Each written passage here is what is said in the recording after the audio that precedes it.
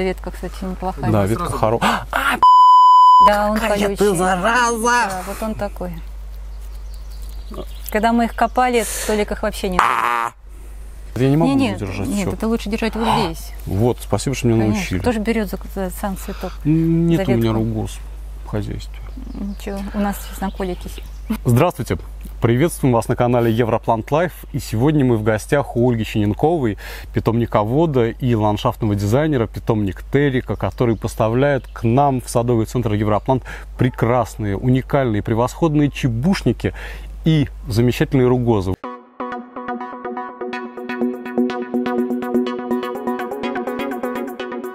В этом году просто пик, наверное, моды пришелся на ругозу, в том числе благодаря, наверное, вам, Ольга. Здравствуйте. Здравствуйте, Андрей. Да, спасибо вам большое, что познакомили нас с этим замечательным растением, потому что для большинства розы это немножко другое, а вы нам открыли в том, что мы многие принимали э, за шиповники, в крайнем случае там э, нитиды, канины, а вот эти вот замечательные ругозы, которые, ну, действительно называются розами не просто так, это действительно самые настоящие розы, обильно цветущие, ароматные, кудрявые, прекрасные. И сегодня давайте снимем топ-10 из того, что цветет. Может быть, это не самые лучшие, потому что все-таки что-то отцвело, что-то еще не зацвело. Жара у нас вносит свои коррективы, все очень быстро отцветает.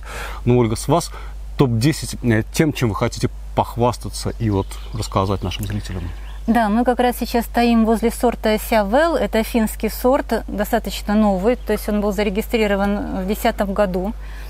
Обратите внимание, какой он высокий. То есть посажен он был у нас в 2015 году, и вот за эти годы он вырос большим крупным кустом. То есть вот э, можно видеть, что на данный момент он уже по 2 метра ростом. С меня, да? Да, да, если вот так вот посмотреть, конечно, громадина, вся усыпанная была цветами. К сожалению, сейчас большая часть первой волны осыпалась из-за этой жары, к сожалению. Ну и то можно видеть, как, какое обилие было бутонов. И вот новые уже идут, видите, молодые бутоны, несмотря на такую погоду. То есть он будет продолжать цветение.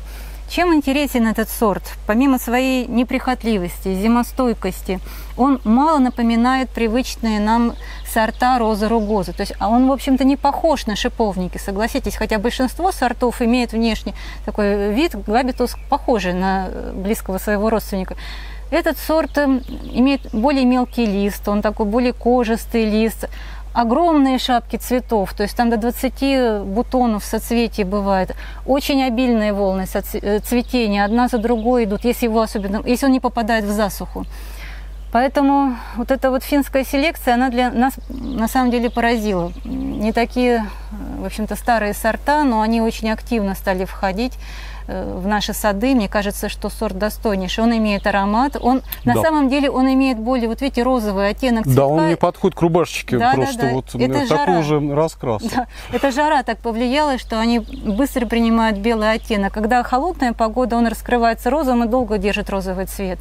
Но я считаю, что Ну, я вообще люблю красивый цветы, которые меняют цвет, потому что у тебя каждый раз что-то новенькое в саду. Да, не без этого. И смотрите, он самоочищающийся. Вот те, кто не боится, есть люди, которым не нравится самоочищение. Я же, наоборот, из тех, кому это очень удобно, потому что вот видеть эти засохшие бурые лепестки, особенно у белоцветковых роз, неприятно. Это надо всегда обрезать. А здесь они спокойно осыпаются сами. Куст, в общем-то, выглядит Ну, он очень ажурный опрятным. такой, да, да. Он аж- Хотя, как- если бы вы ви- видели его после обрезки, это были очень жесткие побеги. Не даже не, в голову не придет, что он может стать вот таким изящным, когда он цветет, потому что очень длинная вот эта вот э, сама кисть, она немножко изгибается, и красивое растение. Ну, просто зефир. Да. Зефир, безе. И очень-очень и аромат и очень не вот шиповниковый, как Да. называют. Вот это вот шиповниковый, Да. это розовый. А вот здесь такой вот интересный аромат. Финны назвали, говорят, что это аромат мира. Я не особо знаю, что это за аромат. Мира? Вот нюхайте, да. Нет, аромат очень приятный. Очень приятный. Да. Нежный, такой не нежный, не сильно, но- нет такой вот Мгм. вяжущей нотки, как в шиповнике. Да, да, да, аромат хороший. Побежали к номеру два. Бежим. Итак, ругоза номер два. Да, вот смотрите, это сорт называется Рита Аусма. Это сорт латвийской селекции. Зидра Рекста был автором этого сорта. Он очень старый. Э, но очень популярный. К сожалению, сейчас он не может показать всей своей красоты из этой жары, но вот на некоторых отдельных, сейчас вот, благо был ливень э, дня три назад или четыре назад, поэтому он наконец-то хоть немножко порозовел. У него обычно центр цветка розовый, а наружные лепестки постепенно белеют. Получается Вот такой я здесь ябл- вижу, это да, яблочный цвет. Сейчас он не так сильно выражен. Каемочка, яркая это, такая Да, да, это каемочка. сейчас каемочка, а обычно внутренние Ага, лепестки ярко-розовые. Да, да, он действительно очень красив. Еще очень важно сказать, что у латвийских сортов очень э, много э, бутонов в соцветии, 20 тоже до 25, там от 15. То есть вот обратите внимание. вот- Грозди, просто да, грозди вот такие. соцветие. То есть представляете, пусть даже один цветок держится недолго, но само соцветие цветет очень долго. И опять же, как все гибриды рукозы, большинство гибридов рукозы, это потом еще и повторное цветение, и следующая волна цветения. Поэтому как видите, э, куст очень красив. Сам по себе обильное цветение, красивая листва такого более светлого оттенка, э, чем у нашей Да, привычной такой розы свежий рогозы. салат такой Да, просто. да, да. Вообще сорт в переводе называется рассвет из-за своего э, вот этого кра- красоты своего Мгм. цветка. И говорят, я, правда, еще пока как-то не пробовала, не обращала внимания, что именно на рассвете, если потереть листья, то будет яблочный аромат от самих листьев. Но я, ну, аромат у листьев действительно есть. Даже не знаю, там на рассвете он или нет, но е- нет, нет, надо потереть. Так Ой, он- вы знаете, есть. Да, да. То есть Да, если потереть, то, то лист пахнет немножко. Действительно, просто вот Да, яблоком да, да. зеленым. Но обратите внимание, какие шипы у Рита Усмы. Ну, с Шипы. шипами мы от ругос, я так понимаю, никуда не денемся. Или у вас, по-моему, есть один бесшипный сорт? Есть, есть и такие. Сенсация, ждите. Ну, Дальше что- в нашем выпуске будет бесшипный сорт. А про это могу сказать, что аромат достаточно слабый у нее, кстати, но тоже не шиповниковый. Вы знаете, да, аромат не такой сильный, согласна, но в разные э, периоды дня а, он бывает более сильный и Вот более так слабый, да, поэтому, может, мы сейчас так с вами попали Интересно. после жаркого дня. Вот, э, поскольку мы не так далеко находимся, давайте мы сразу посмотрим сорт тоже латвийской селекции, тоже Дидререксты. Это сорт, смотрите, какой он необычный на свой, по, по внешнему виду. Это сорт называется гуна. Один из красных сортов. Очень необычное строение цветка. Вот, э, из-за жары они были более бледные, но вот сейчас видно, уже распускаются новые бутоны, они более насыщенного цвета. Вот, например, бутоны. Если бы было бы прохладно, то они были бы более яркие. Не знаю, как вот, э, почему, э, как объяснить, почему мне этот сорт нравится. Наверное, его форма. Смотрите, какая форма куста, округлая. Вот он так и растет с малолетства. Во-вторых, вот такой крупный, необычный цветок.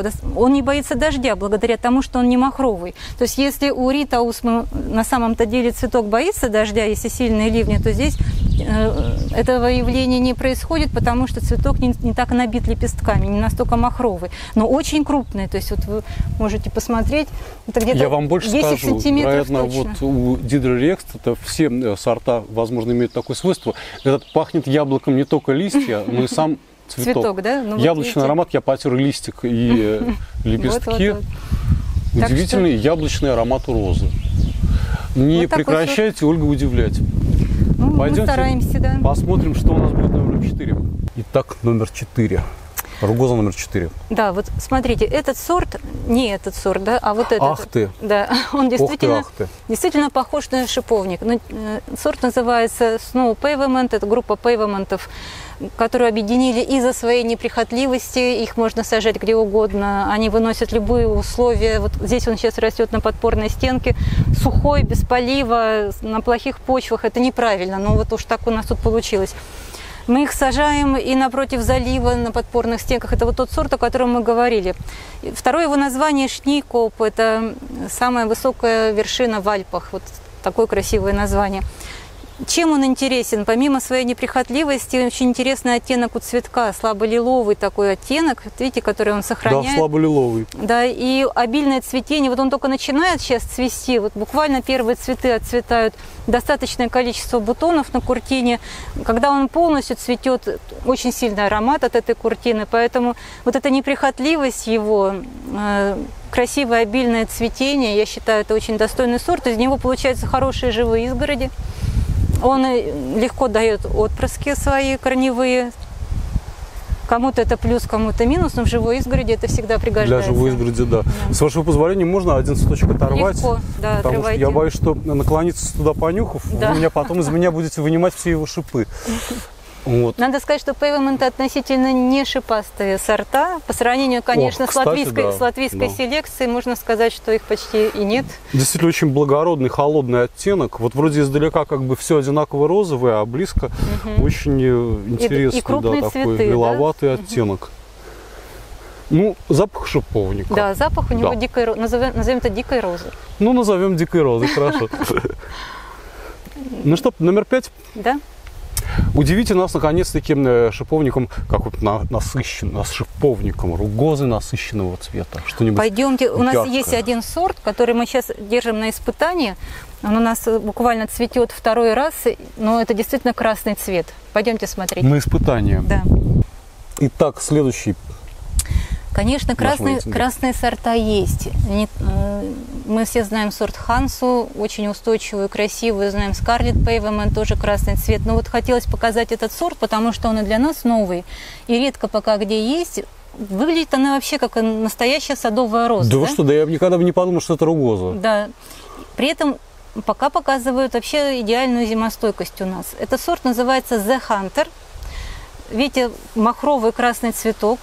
Вот вы- выдал вот такой здоровенный Ну вот это да. да, ствол. Единственное, что, конечно, колючки такие, тут да, колючки, легким уколом не колючки, отделаешься. как у нормальной благородной розы, поэтому кто их любит, тот, пожалуйста, вот вам и... Колючки-то кто любит? Нет, благородные розы. Пользуйтесь, колитесь на здоровье. Знаете, что вот такие колючки характерны не для ругоз. А сейчас э, садомазохистов прошу приглянуть к вашему экрану и обратить внимание на замечательные крупные колючки этого экземпляра. Нет, побег действительно колоссальной Ну, ну, вы высоты. посмотрите на его макушку, сколько там бутонов. Да, что. бутонов Кроме очень колючек, много, опять целая бутонов. гроздь. Да. И Просто как- я-то думал, что он будет вот цветы. таким вот маленьким, а он оказывается, это тоже будет большой, очень Должен крупный быть куст. большой куст. И какие м- красивые махровые цветы. Более того, цветы, оказывается, имеют аромат. Хотя считалось, что аромат слабый. Андрей, Так, это сегодня ловите ваша работа. меня, я сейчас, да, моя работа.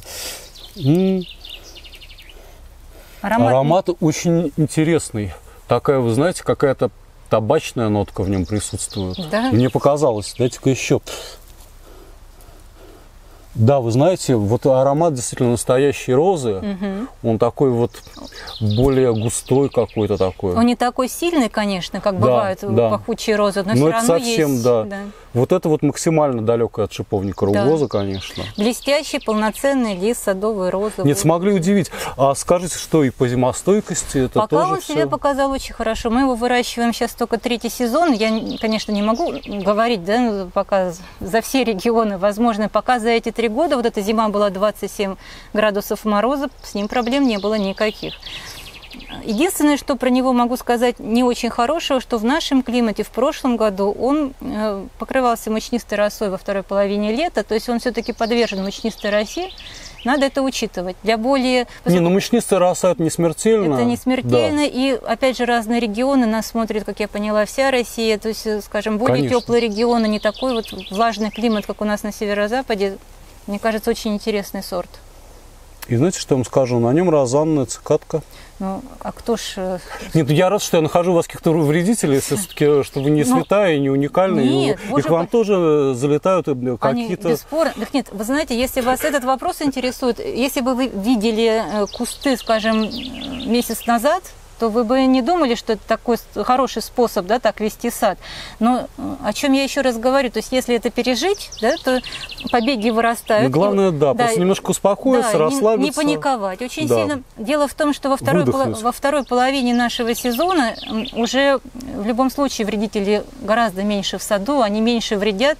И поэтому я даже вообще не вижу большого смысла в таких вот регулярных, особенно профилактических обработках. Но мы сейчас все-таки с вами говорим об устойчивых сортах. Я понимаю, что садоводы, которые выращивают садовые розы, это более нежные сорта, более Да-да-да. теплолюбивые сорта. Конечно, им приходится с ними работать, иначе просто весь Ну, в этот общем, будет на расплата за вот эту всю красоту, Да. конечно, да, в том, что и мучнистая роса, и цикатка Да. на этом встречается чаще, чем, например, Ну и вот смотрите, да, да, посмотрите рядом, насколько здоровый красивый сорт ну, род, на- род феномен. отличается.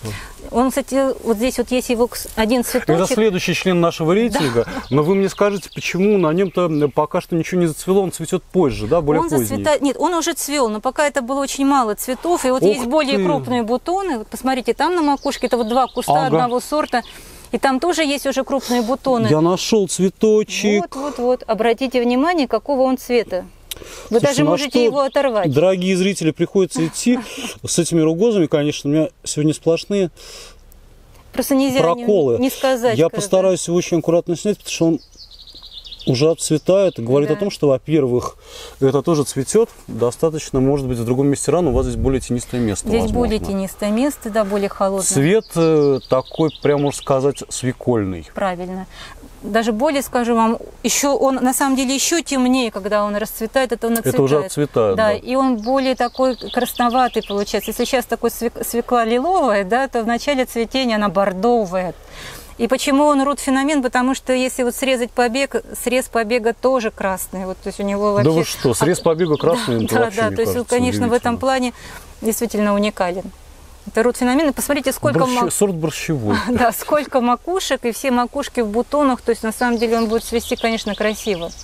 И запах такой у него тоже сложный достаточно и не навязчивый. Да, Вроде как бы и нотки шиповника есть, ну и как бы и от розы что-то осталось. да, да. Очень сложно, конечно, сейчас показывать все ругозы в каком-то рейтинге, потому что какие-то сорта уже отцветают из этой жары сильно. Ну это все волна, понятно. первая волна. А какие-то, видите, вот никак не хотят А с другой зацвести, стороны, да? нам осталось бы у вас тут заночевать, если бы зацвело Ну, все одновременно, и у нас бы был бы топ-100, наверное, уже, а не топ-10. Итак, это у нас номер 7. Да, наверное, сегодня у нас рейтинг больше, чтобы удивлять. Конечно, да. Этот сорт, кстати, тоже латвийская селекция, тоже дидролексты. Сорт называется Зайга. И он удивителен, конечно, тем, что он практически бесшипный. Вот вы- Слушайте, ну это вообще это уникальное свойство для ругоза, которое да, да. всегда, да, вот исколола мне уже все пальцы колючками, бесшипный. Все, я уже готов за это одно качество и полюбить При его. этом у него интересный э, сам цвет этого цветка. Видите, он такой розовый, а когда на солнце он даже немножечко персиковый такой оттенок имеет. Ну, слегка, конечно. Красивый сорт. Единственное, надо сказать, что все-таки вот этот сорт немного подмерзает у нас макушки, но потом отрастает, то есть мы их не укрываем. Абсолютно, да, отрастает и цветет. Но все-таки вот это не, не такая надежность, как у привычных нам сортов. Конечно, Но я понимаю. вот зато нет колючек. Надо сказать, как что я к этому сорту относилась не очень хорошо. У меня посажен в другом месте, там он покрупнее, мы это покажем. Но э, там у нас близко стоит вода, потому, потому что яма в скале, и видно накапливается вода. И сорт не хотел образовывать куст, он постоянно полз, он уползал от этой воды, по всей видимости. Я уже в нем разочаровалась, плюс вот это обмерзание. И посадив его сюда, здесь у нас э, более тяжелые глины, суглинки, он, мы смотрим, стал все-таки расти более приличным кустом. Это вот уже наш саженец, молодой еще пока, но, как видите, он маленький, но уже цветет и тоже очень крупные цветы дает, красиво. Ну, конечно, бесшипность его подкупает. Я хочу потереть лепесточки, вдруг они тоже пахнут яблоком. Давайте. А нет. Нет? Ну вот. Да, не все. В нем больше я думал, что да, кровей, да? вот, э, да, да. Просто один и тот же оригинатор, я подумал, Да, вдруг да, у да. нее все яблоком-то надушено. Ну ладно, цветы же надо еще понюхать. Но у него слабый аромат. Слушайте, да, аромат очень слабый. Аромат слабый, да. Да, но кустик очень прелестный. Был он бесшипный. Все. Вот. Все, решено. Вот да, он берем. бесшипный, да. Заверните. Так, э, номер восемь. Ну, на самом деле цветок вот он. Видите, какой он большой, Цветок крупный. просто гигант, Гигант, по-моему. да.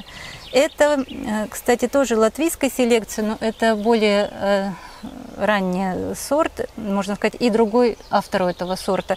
Сорт называется Лидия Фрейман. Вот, э, это, кстати, актриса, известная актриса, и вот в честь нее был назван этот сорт.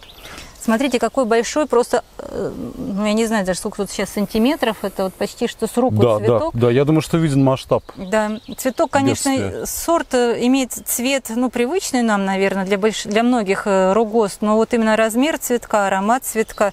Посмотрите, какие крупные листья. В общем-то, достаточно такой объемный куст, хоть он и, надо признать, медленно нарастает, но уж нарастает потом уверенно. Минусы этого сорта, вот помимо тех плюсов, что мы назвали, цветок, к сожалению, держится недолго.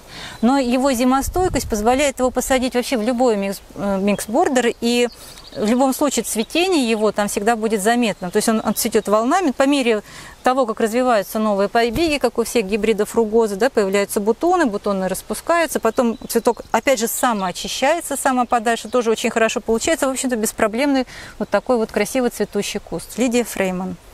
Абсолютно морозостойкий. Запах такой достаточно мне тоже ненавязчивый. Да. Ну и здесь вот единственное, конечно, жаль, что этот сорт еще только начинает распускаться. Так, подождите, давайте я занырну туда. Сзади вас пастель грин. Ага. Пастель грин вижу. А так, между вот пастель вот. Спасибо. Разрешите, да. пастель грин, я вас немножечко... Так. Это вот сорт называется Сильва. Вот он только начинает распускаться именно из-за тени. Это тоже латвийская селекция. Очень красивые э, цветы, немножко паникающие. К сожалению, вот он в этом году еще пока не выдал всей своей, всех своих возможностей. Да? Сорт Дидры Рексты. Тоже. Все как обычно, да. Яблочный? Не да. Да? Да. ну вот потому что это первые ее сорта. А вот, понимаете, вот которые у листья светло-салатовые, да, вот да, они да. вот и яблочком и пахнут. У них очень... А и... сам цветочек? И близкие родители. И сам цветочек тоже. Ну вот. Вообще, э, чем красивые вообще ее сорта, мне очень жаль, что он еще так не распустился. Вот рядом с вами тоже начинает распускаться это сорт Марга, тоже ее сорт примерно этого же времени. Потом на фотографиях угу. покажем. У нас в питомнике уже куст полностью молодой цветет, а здесь из-за тени груша слишком быстро выросла. Они немножко запаздывают. Обилие бутонов, крупные красивые цветы, неприхотливость. Кусты на самом деле вот такой высоты вырастают легко. Это они были низко обрезаны в этом году очень хорошие. Ну и потом сорта. на фоне темной зелени, смотрите, как отличаются листья выигрышно. И вот здесь надо сразу показать, немножко уже отцветает, он рано расцвел. Это сорт тоже, опять же, Дидрирекс, это сорт э, агро. Очень обильное цветение, бело-розовая гамма, крупные цветы. Он невысокий, но широкий куст дает. Видите, как он уверенно растет. Вот, к сожалению, единственное, что вот этот сорт уже немножко отцветает. Розовые бутоны, опять же, Поэтому очень красивый сорт. Все, и у нас остался номер 10. Пока так. меня окончательно не задушила аллергия после всего, что я нанюхался. Давайте снимем номер 10. Итак, последняя роза нашего рейтинга, но не последняя в саду Ольги Чененковой, это белая роза. Да, это чисто белая роза. Если мы до этого снимали с вами много роз, которые имеют розовый оттенок, но белеют, то вот этот сорт латвийской селекции Скайдра, он чисто белый. И что хочется про него еще сказать? Я считаю, что это вот роза э, здоровья. Это прекрасный сорт, у которого хорошая насыщенная зелень всегда, который при этом абсолютно неприхотлив, у которого много бутонов в соцветии, я считаю, что вот поскольку мы как и как ландшафтники, и тоже как садоводы, у которых нет времени да, с каждым кустом бегать и нянчиться, то вот этот сорт для тех, кто любит белые сорта, просто идеален. И смотрите, какая у него уже высота. Он не особо крупный, кстати. Это вот его, наверное, ну, нормальная высота, может будет еще чуть повыше. Ну это идеально, мне кажется, средняя такая да, высота. И он на подпорной стенке находится, то есть вы, в принципе, видите, что сорт невысокий, мы да. стоим с вами ниже. Обильнейшее цветение, ранее, ранее начинается цветок, э, э, само цветение одно из самых ранних и продолжается до конца сезона. Поэтому вот сорт Скайдера мне он очень нравится именно, именно этим и его самоочищением. Опять же, вы видите, вот сколько уже было цветов, и никаких бурых лепестков нету, хотя белые сорта этим очень сильно страдают.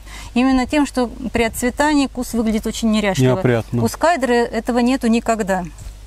Запах?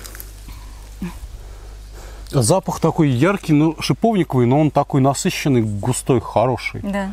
Очень симпатичный. И очень хорошо смотрится в композициях. Вот можете обратить внимание, здесь как раз мы с вами видим небольшую композицию. Это и лапчатка, на том фоне как раз у нас вот необычный. Здесь у нас и клематисы, и герани, и различные почвопокровные. Поэтому тут флоксы, Нет, ругозы замечательно да. вот в вашей коллекции вписываются. Теперь мы видим, как это выглядит и не просто на картинке, а немножечко посмотрели это в ландшафте. Надеюсь, наш оператор это все покажет нам. Будем Вот. надеяться, да. Ольга, спасибо вам огромное. Обещайте мне, что пригласите нас еще в гости. У вас так интересно. С удовольствием. Мы должны были, будем поснимать, мне кажется, и ваш прекрасный сад, чуть-чуть побольше рассказать нашим зрителям. Наверняка он очень понравился. Они будут ругать оператора, что сняты одни розы, нету сада. И э, раз уж у вас еще, оказывается, и коллекция гортензий, Ну, она у нас не такая большая, конечно. Есть, да, есть. есть Есть. или нет? Как у всех нормальных людей, да. Все, тогда придется приехать к вам да. на гортензии. Приезжайте. Заодно, может быть, как раз будут хорошо цвести розы те, которые мы сейчас еще не сняли. Потому что сортов гораздо больше, чем мы показали на, на этом видео в этот раз. Замечательно, Ольга, вас всегда очень интересно слушать. Зрители вас э, слушают с удовольствием. Вы очень грамотный специалист, даете много очень полезной информации и очень гостеприимная хозяйка. Спасибо вам огромное. Спасибо вам. И мы прощаемся. С вами был канал Европлант. Ольга Чиненкова, Андрей Смирнов. Всего доброго. До свидания.